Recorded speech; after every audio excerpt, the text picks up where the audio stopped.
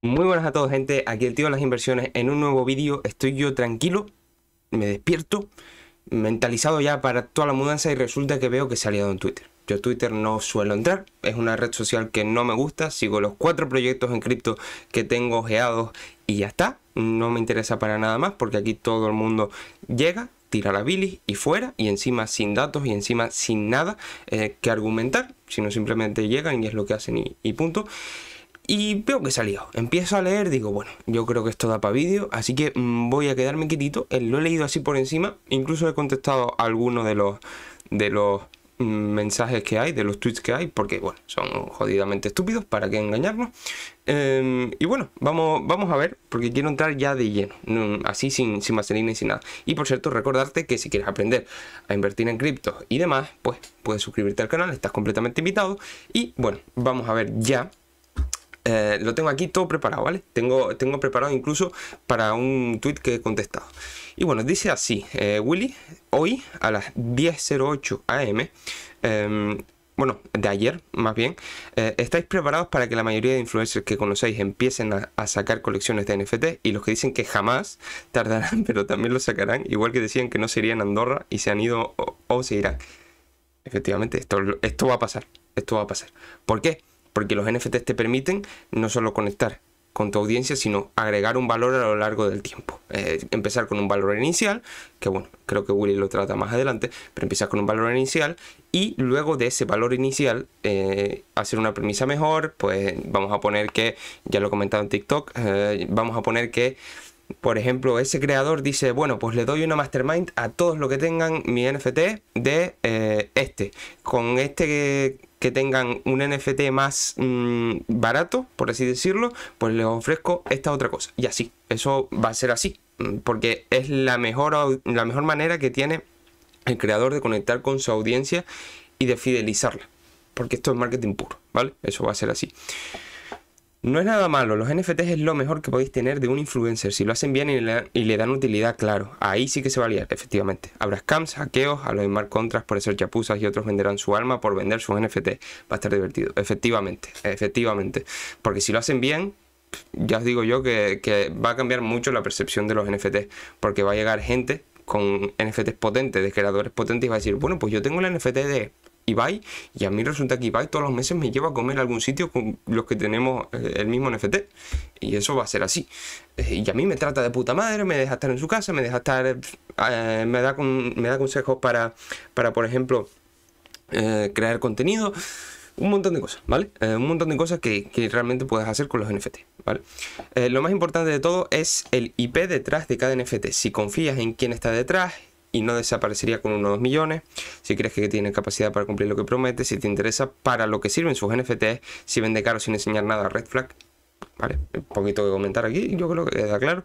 Una colección de NFT es una empresa, el dinero de la colección no es para guardártelo en el bolsillo, es para que lo inviertas en darle valor a tu comunidad. El último en cobrar de todos debe ser el creador. Si hace bien su trabajo, se llevará porcentaje del 2 mercado, un porcentaje del 2% del mercado, me imagino, que se ha colado aquí. Eh, si a quien le compras el NFT no tiene experiencia, red flag. El dinero del Mint es para contratar devs, community managers eh, y diseñadores, entre otras cosas. También cerrar acuerdos con marcas y otras colecciones y otras muchas cosas que irán surgiendo. Efectivamente, vamos a poner que lo puedes incluir en un juego como por ejemplo de Sandbox y puedes decir, hey, tengo el NFT de PewDiePie, de Ninja, de Ibai, de Rubius, de quien sea, ¿vale? Y esto va a ser así porque los juegos NFT eh, es que eh, van a ser el futuro y un futuro no muy lejano. Yo en dos años veo, por ejemplo, a, Big Time o a The Sandbox completamente integrados, ¿vale? Porque la ventaja que te dan los juegos NFT es que se pueden actualizar constantemente, tanto su tecnología como sus gráficos, como todo, absolutamente todo, ¿vale? Eh, los famosos que ves comprando NFTs por millonadas lo hacen para flexear, es decir, presumir que, de que pueden comprárselo. Si compras un Lambo te lo ven X personas en la calle o puede ser alquilado. Los NFTs demuestran que es tuyo y que te has gastado ese dinero. Sí, ¿cierto? Somos animales sociales, es normal que si más de la mitad de nuestras interacciones son digitales, tiene sentido que me gaste 100k en un NFT antes que en una escultura en mi casa que verán 100 personas como máximo. Por todo esto, la propiedad digital es una revolución. Efectivamente, el cuide de la cuestión es este. ¿Cuánto tiempo pasas tú en las redes sociales? ¿Cuánto tiempo pasas mirando Twitter? ¿Cuánto tiempo pasas mirando Instagram? ¿Cuánto caché te daría tener un board ape en Instagram? Solo por tener un board ape ya tienes una marca. en Instagram. Es así de sencillo. No, es que es estúpido, es que... Vale, di lo que quieras, pero es que funcionamos así. O lo entiendes o no lo entiendes, pero esto es así. Somos animales sociales. Tú ves a alguien con algo que a ti te gustaría tener o a alguien con algo que le da un determinado caché y dices, guau, qué guapo, tío, lo voy a seguir. es así. Punto. Es, lo que hay, no, no hay más. Pones cultura de zapatillas de 200 dólares en vez de una sin marca de 20 dólares. Las compras porque quieres demostrar al resto que te gustan, que entiendes de moda, de zapatos, etc. O un póster cuadro en tu casa de un grupo de música. Comprarás tu NFT que te dará utilidades y lo pondrás en tus redes sociales. Cuando te canses lo vendes. Cosa que con todos los póster, cuadros, figuras que tienes en casa no sueles hacer. Que contamina más un NFT o todas las figuras que tienes en casa. Efectivamente. Que ahora voy a enseñar algo que va a dar mucha perspectiva respecto a esto, ¿vale? Eh, es que está, está clarísimo. Eh, ¿Cuánta gente se compra cosas de moda caras por decir, hey, tengo esto? Sin ir más lejos, la gente que se compra Apple. Apple, el móvil que ellos fabrican, vale la mitad. Vale la mitad de lo que lo fabrican. Pero tú estás pagando el efecto marca. Y esto es así, señores. Eh, esto es así. Tú estás pagando el loguito de la manzana. Punto. No estás pagando nada más porque los servicios que ellos te dan, ellos saben que te pueden cobrar el doble por los servicios que a ellos les serían rentables ya cobrando 500. El, iPhone que te venden a 1000, 1200, ellos con 500, 600 ya lo tienen más que amortizado y sacan beneficios. Pero te están cobrando muchísimo más por el prestigio que tiene la marca. Punto. Ya está. Es así de simple.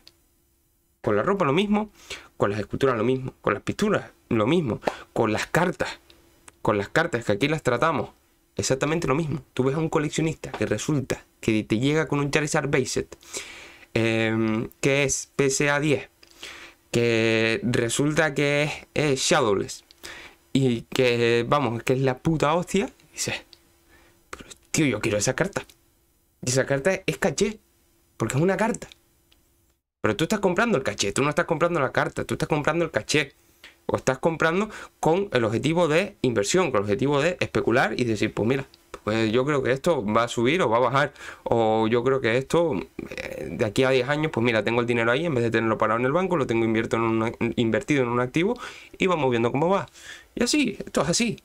Pero es que en, en las inversiones y en todo, ¿eh? O sea, en absolutamente todo. Obviamente, tú al pasar, como ya he dicho, muchísimo tiempo en las redes sociales, pues tú vas a acabar tirando, se va a acabar tirando por la posesión digital, porque es así, porque con la implementación del metaverso, con la implementación de todo, todo va a ser NFT y todo va a ser así, ¿vale? Eh, yo no tengo NFT, yo no soy defensor a muerte de los NFT, pero tampoco soy tan gilipollas como para decir que esto no sirve para nada y que solo contamina porque es jodidamente mentira, porque las cosas son así. Eh, los NFT yo estoy muy a favor, estoy muy, muy, muy a favor. No tengo porque no es una tecnología que yo eh, conozca muchísimo, entonces no, no voy a, meterme en algo que no conozco, no voy a invertir en algo que no conozco, pero bueno, eh, vamos a seguir porque aquí por ejemplo hay un tweet al cual yo respondí porque me salió, me salió justo el primero. Y, y es una persona que intenta hacer spam de su de sus cosas de arte, de sus movidas de arte. Y es como, mm, aprovecha la cosa para tirar hate a lo que no le gusta y no solo eso, sino promocionar su, su... Bueno, esto es spam, no es promoción, es spam, básicamente.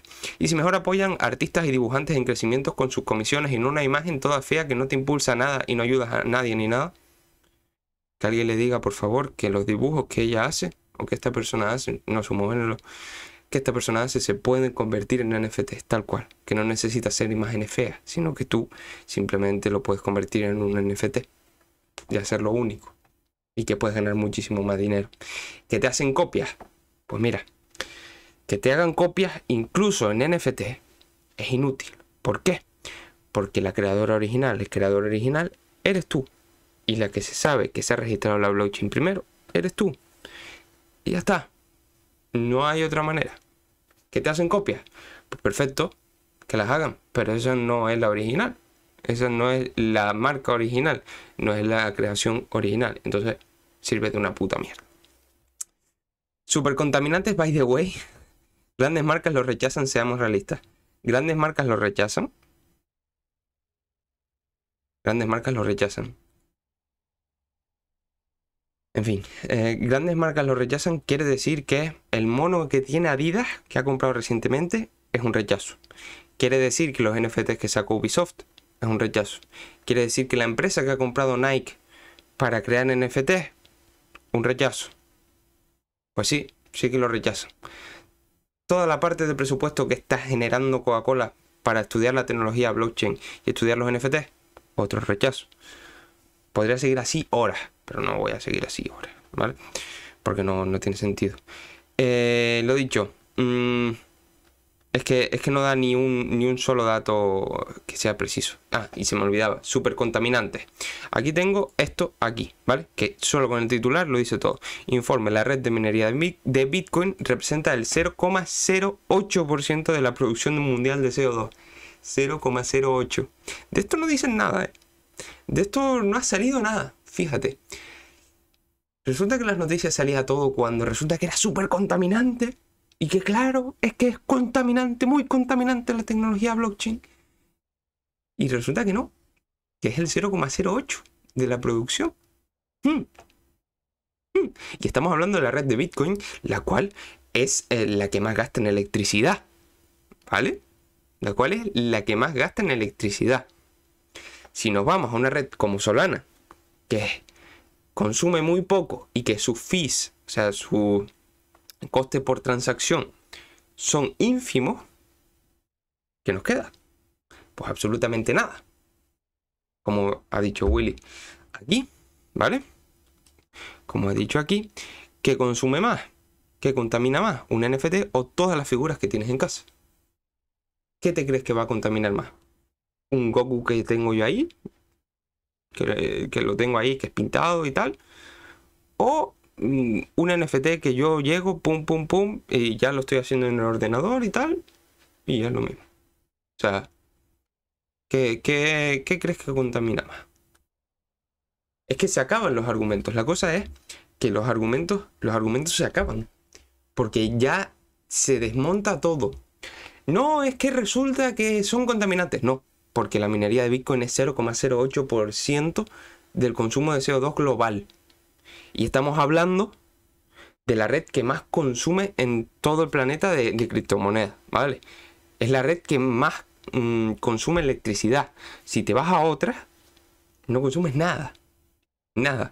Esto se acaba. Eh, los argumentos se les acaban, todo se les acaba porque no tiene sentido que sigan negando lo innegable. Esto es el futuro, en muchísimos casos es el presente y esto ha llegado aquí para quedarse.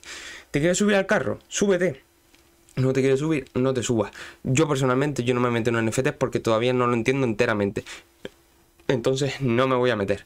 Pero sí que es verdad que no soy tan iluso y tan idiota como para decir mm, no, mm, esto no sirve. Porque lo primero que hace el cerebro humano con algo nuevo es descartarlo. Y, es un mecanismo de, defensa que tenemos todos. Así que nada, mm, sin más, si has llegado hasta aquí, por supuesto, suscríbete, mm, no creo que tenga ni que decirlo, y nos vemos en el próximo vídeo. Hasta el próximo.